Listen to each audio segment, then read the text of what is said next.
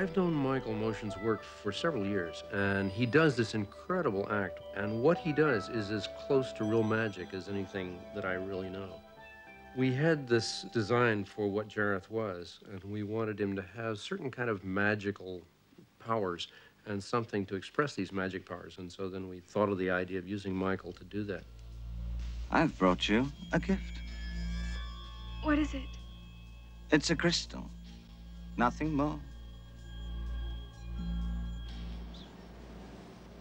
Got it? For the occasions, we wanted to use Michael's right arm to be David's arm. We set it up with a stand-in for David, so he could rehearse and, and rehearse and rehearse and try to get this move.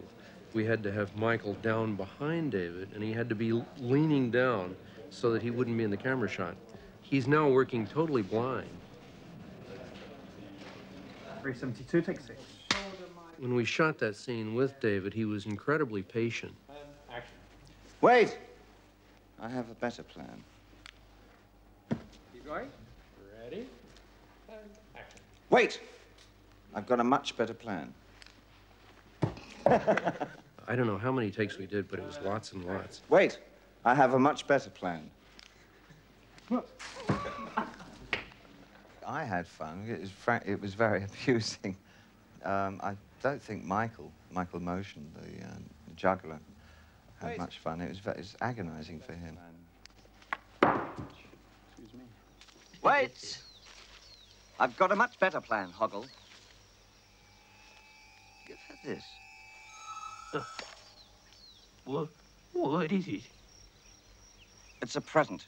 It ain't gonna hurt the little lady, is it? Oh, now why the concern? Uh, I won't do nothing to harm her. Oh, come, come, come, Hogbrain. I'm surprised at you losing your head over a girl. I ain't lost my head. You don't think a young girl could ever like a repulsive little scab like you, do you? Well, she said we What? was. Bosom companions? Friends? Don't matter. You'll give her that hoggle, or I'll tip you straight into the bog of eternal stench before you can blink. Yes,